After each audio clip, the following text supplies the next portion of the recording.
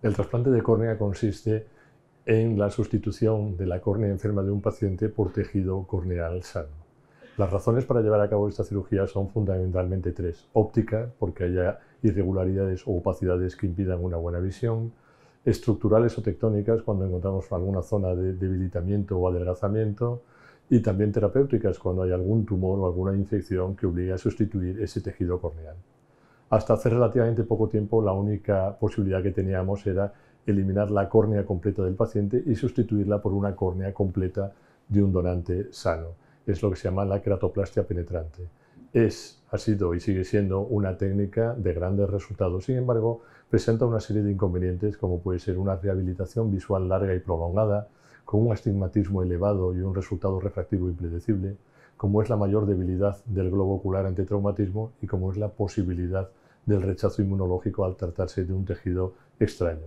También existen importantes complicaciones intraoperatorias al tratarse de una cirugía a cielo abierto, complicaciones relacionadas también con las suturas que damos, como es la rotura o la dehiscencia de esas suturas, o también las infecciones corneales, y también complicaciones relacionadas con el tratamiento eh, posoperatorio, que no son más que corticoides a largo plazo y las principales complicaciones que pueden, eh, conducir, eh, que pueden conducir este tratamiento es la catarata y el glaucoma.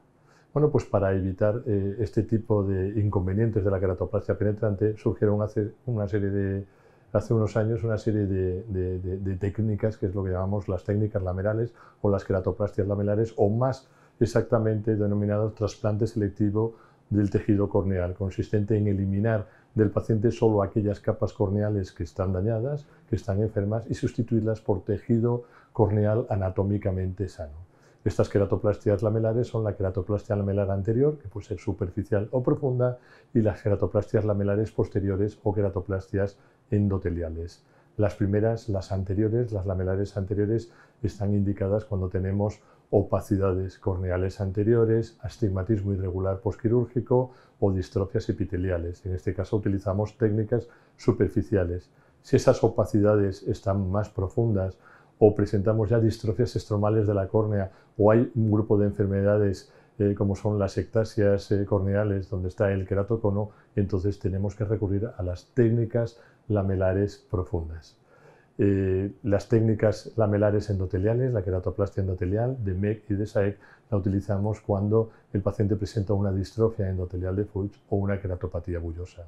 Con estas técnicas hemos conseguido una rehabilitación visual muchísimo más rápida, con un defecto refractivo residual mucho menor y una mucho menor inducción de astigmatismo, una menor debilidad del globo ocular frente al traumatismo y una menor posibilidad de rechazo inmunológico, puesto que trasplantamos una menor cantidad de tejido.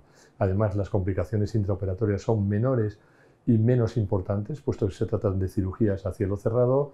Las complicaciones relacionadas con la sutura son prácticamente inexistentes porque o bien no las empleamos o bien las retiramos precozmente y las complicaciones relacionadas con el tratamiento postoperatorio son también mucho menores porque el tratamiento puede ser mucho más corto y a dosis mucho menores. A cambio, son técnicas mucho más complejas quirúrgicamente que nos llevan un mayor tiempo quirúrgico.